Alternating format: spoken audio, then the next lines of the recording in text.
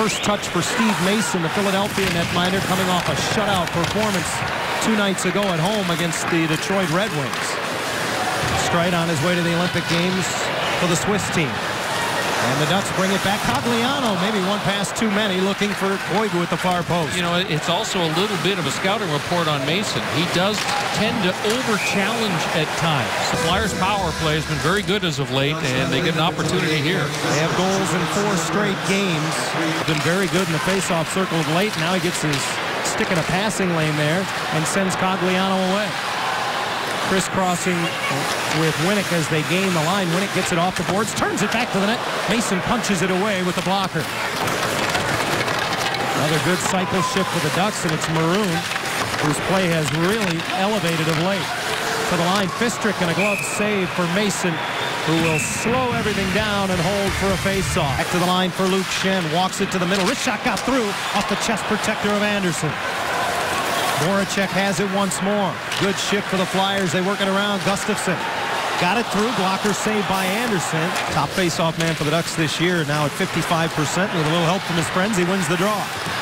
Selanne across the line for Perreault. And off the heel of his stick. He was open at the far post. Beauchemin comes up with it. Flutters it towards the net. Score! Tipped in. Maroon, I think, may have gotten a stick on it. Selanne was there as well. If he doesn't get a stick on it, he at least screens the goaltender so he can't handle the shot. Boy, Maroon's been good in the early going. Here's the Ducks on the attack. So three on two. Mathieu Perreault, top of your screen, breaks into the open ice. Selanne can't quite find him. And then Beauchemin throws it towards the net. Sure looked like it changed direction, and I believe it's going to be Patrick Maroon's goal. Beauchemin just a quick little wrist shot that gets in there. And then, yeah, it definitely is tough. Just not a frustration, threw his stick straight up towards the roof of Honda Center. 30 seconds left in the power play. Lecavalier can't find it as it bounced off of Andersen. Went straight up in the air. Philadelphia has given up the second most shorthanded goals in the entire National Hockey League coming into tonight. They've surrendered eight this season. Anaheim hasn't had much pressure that way. As Gustafsson drives, gets it across, and they score. Lecavalier able to trickle it through. Andersen got a piece. They just jinxed him. This puck goes through the five hole. Lecavalier collects it, has the time to really tee it up. Cross ice pass. The Ducks beaten on a pass at the blue line, and it goes through the five hole. Andersen gets a little piece of it. You know, to close that five hole up, goaltenders have to get both knees down on the ice. The pads will seal it up. And you could see, boy, that, that the angle from behind the net really showed that Andersen was just a split second late getting to the ice, and the five hole was available. And he's tied this game at one. Selanne comes up with it just outside the Philadelphia stripe and now curls. Slides it over. Speeds it to the top of the circle and he rifles it wide. Down to 15 seconds now in the power play as Andersen, who handles the puck well, does a nice job to tip it into the trapezoid, sends it around, but it's held in by Coburn. We'll take a one-timer. Pad save Andersen and the rebound. He recovers to make the save. Oh, wow. What a stop. Palmieri starts out of his own zone, goes wide on right wing in the Flyers end. Behind the net, Timonen keeps him to the outside. Lindholm open at the line, got it through, score! Getzlaf in front. It's two to one.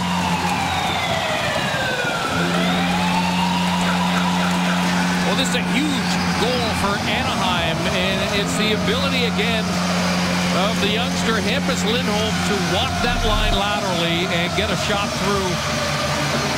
Anaheim goes to the net. Is the second deflected puck that gets in behind Steve Mason. Good job by Getzlaf. You see him avoid the contact. Gets the stick out in front of him, and this is another redirect. The great hands. That uh, that type of ice time never seems to bother him much. Cogliano busts into the Philadelphia zone, goes wide, and it's into the glove of Mason, who denies the centering pass. Nice pass as Lindholm finds Palmieri into the Philadelphia zone. He filters it to the net, kicked away by Mason, and then sent just wide by Bolesky. Fowler holds the zone, gets it back from Perreault. Long wrist shot, no traffic, and it's easily held by Steve Mason. A lot more pressure coming from the Anaheim defense here. They are all over the Flyers D-men. Gustafsson able to work it up and out. Hartnell across the line with Couturier. His high shot handled by Andersen. And he'll run it down on the far boards as it was knocked out of midair in front. Fights off the hit and again works it to the line. Teaming in for Braydon Coburn. And that one hit a couple of sticks on the way and may have ended up being punched away by Andersen. Bonino on the far boards. Nifty little pass into the middle and Palmieri slides it over for Beauchemin. Into the zone, throws it to the net just out of the reach of Palmieri. Bonino gets it back to the line. Fowler's open, throws it on net. And Mason makes the save. He's able to cover his Fowler in full flight uses the boards to chip it ahead, and the Ducks will speed through the neutral zone. Penner heads to the net. The trailer Lindholm. It's Perry. He scores!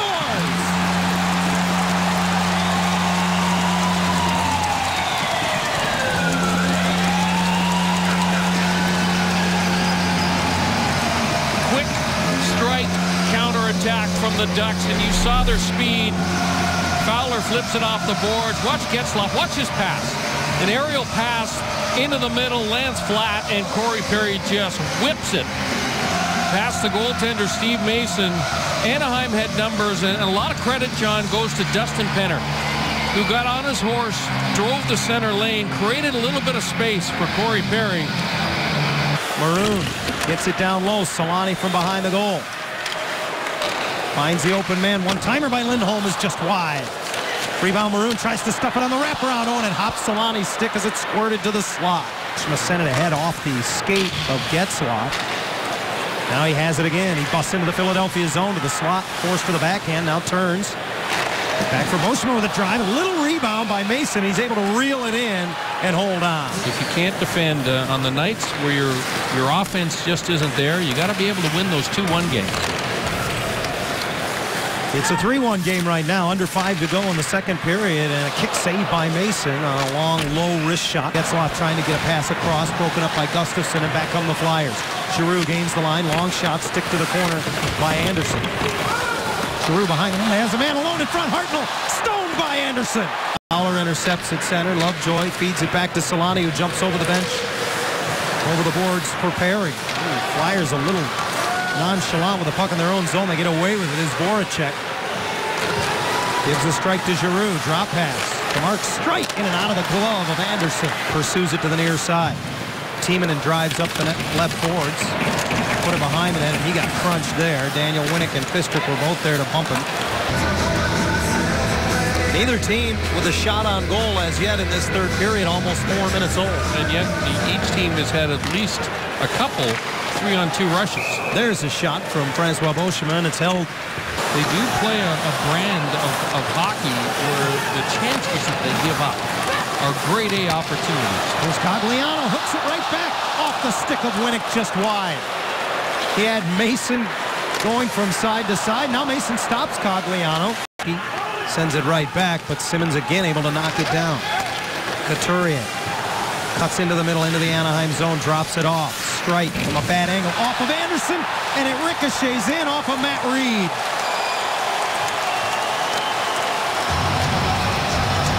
This is one that Frederik Andersen won't like, John, because he is not square to the shot that comes almost from the goal line. So when it hits him, watch the shoulders of Andersen.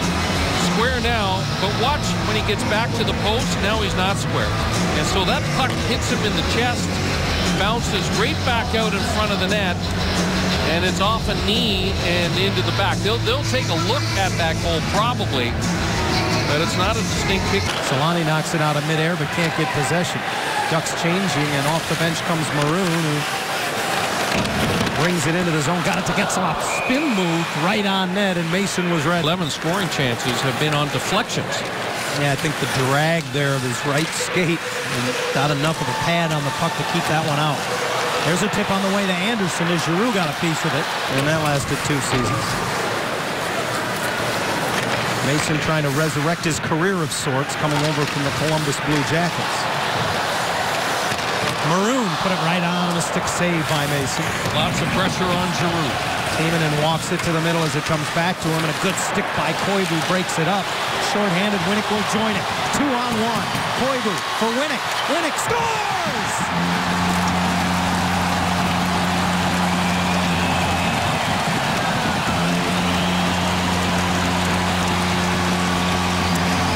What a shot by Daniel Winnik.